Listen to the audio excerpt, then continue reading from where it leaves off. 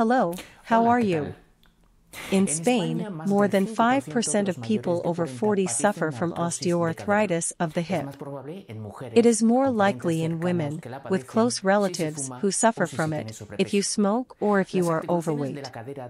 The hip joints have cartilage between the pelvic bones and the femur. Osteoarthritis occurs when this cartilage wears out, the joint then becomes damaged and cannot move easily.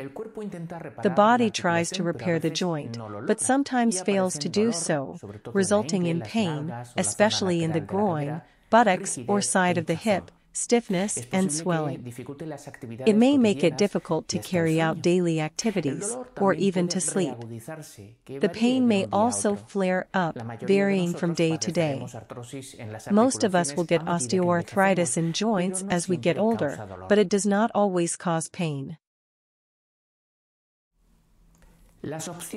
Which options are best for you depends on your personal preferences, age, and how your symptoms affect your day to day life. Not all treatments are available in the national health system at all times. With the right support, most people learn to cope well with their osteoarthritis.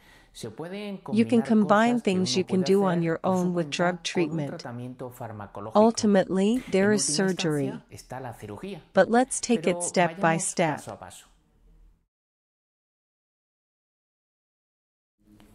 First of all, it is good to be active, as exercise can relieve symptoms. This strategy is more likely to work if you choose what you enjoy doing.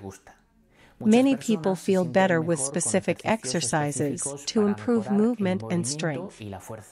Your healthcare professional can explain further. In any case, start slowly and accept that it is normal to feel sore and tired at first. But if the pain prevents you from sleeping for several days, you may have overdone it. It's a matter of resting for a couple of days and, when you feel better, gradually resume. If this is not the case, you should discuss it with your doctor. A common difficulty is being overweight. As it puts extra strain on the joints, it increases pain. This, in turn, complicates weight loss as it makes exercise painful. Some people find relief from this situation in support groups as they try to lose weight and become more active. On the other hand, the hands of a physiotherapist or osteopath can relieve pain, especially in combination with exercise. If all this is insufficient, walking aids can be used. They help to take the weight off the hip, which can relieve pain, especially if walking more than usual or on uneven ground. They also increase stability and reduce the likelihood of falls. Of course, you may need to tell people around you that you need more space or that you need to slow down. A note about therapies that are not recommended for osteoarthritis of the hip. There is no evidence that they are harmful, but there is no good evidence that electrotherapies such as TENS machines, acupuncture, insoles, or footwear are helpful. Or that supplements such as glucosamine and chondroitin relieve osteoarthritis pain.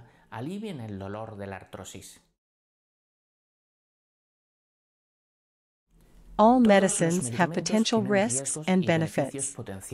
Some of them must be prescribed by a doctor. Let's look at the three groups, with their pros and cons, including the numbers. The first group is the nonsteroidal anti-inflammatory drugs, NSAIDs, in tablet form, such as ibuprofen, naproxen, or celecoxib. They are effective for osteoarthritis pain in at least 57 out of 100 patients, although the remaining 43 patients did not notice any improvement. Some NSAIDs require a prescription. A doctor should be consulted before taking NSAIDs, as some people should not take them. They have adverse effects and should be taken at the lowest dose that works for you, for as short a time as possible, and usually with other tablets that protect the stomach. In fact, 21 patients out of 100 report stomach problems. The longer you take NSAIDs and the higher the dose, the greater the risk of side effects, such as kidney damage, stomach bleeding, heart attack, and stroke. If you already have kidney or heart problems, the risk is even higher. The second group is the weak opioids. You should only take weak opioids, such as codeine, if you cannot take NSAIDs. As with NSAIDs, the lowest therapeutic dose should be taken for the shortest possible time. 47 patients out of 100 experience relief, while the rest do not. Opioids can cause side effects and addiction. Between 60 to 70% of patients reported stomach problems. Strong opioids, such as patches, are discouraged.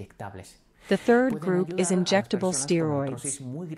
They can help people with very severe and long-standing osteoarthritis. One out of two patients experienced relief. They can reduce pain for up to three months. They are usually given under local anesthetic, using ultrasound to guide the injection. There is a small risk of complications, such as pain, infection, which occurs 13% of the time, bleeding or bruising where the needle is inserted. On the other hand, there is no good evidence that paracetamol relieves osteoarthritis pain, and prolonged use could be harmful. There is also no convincing evidence that stem cell therapy or platelet-rich plasma reduces osteoarthritis pain. And hyaluronic acid injections do not help osteoarthritis of the hip. Approximately 1 in 10 patients opt for hip replacement surgery within 10 years of first seeing their doctor. The rest can manage their osteoarthritis without going to the operating theater. Hip replacement is usually only offered to people with severe osteoarthritis, with acute pain that has lasted for a long time and or other measures that have not helped. The operation usually relieves pain and improves basic mobility, but the new joint may be less mobile than the original one. It is best to talk to your doctor to get a realistic expectation of the operation before deciding. The operation will work best if you are active, stop smoking, and are at a healthy weight. During the operation, you will be given either spinal anesthesia from the waist down or general anesthesia. The surgeon makes a cut in the hip, removes the damaged joint, and inserts a new one. The operation takes one to three hours. A hospital stay of one to five days is usually required.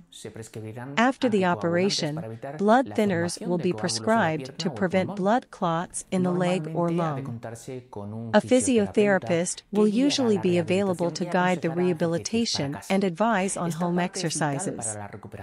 This part is vital for recovery. If you notice that the new joint or the operated leg is hot, red, swollen, or more painful, you should contact your GP immediately. Otherwise, there will be a checkup at the hospital after six to eight weeks. Out of 100 people, 87 said their hip was much better, 8 said it was better, two said it was about the same, and three said it was worse or much worse. And what about complications? Out of every 100 people, about one had a blood clot in the leg, a deep vein thrombosis, and half of them had a pulmonary embolism requiring urgent treatment. Between one and two people had a dislocated hip, requiring further surgery. 5 to 20 people were left with more than 1 centimeter difference in the length of their legs. Between 1 and 2 people had an infection which required another surgery. About one person suffered nerve damage that changed the feeling in their leg. Finally, seven people had their hips replaced again within 15 years. This is because replacement joints, today, are not eternal. But replacing them involves a very large and difficult operation. That is why the doctor will only recommend it if the pain is very severe and everything else has been tried.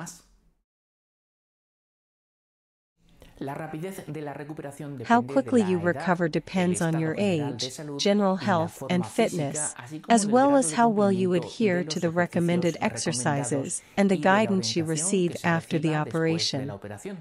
Surgery does not improve everyone's quality of life, as we have seen.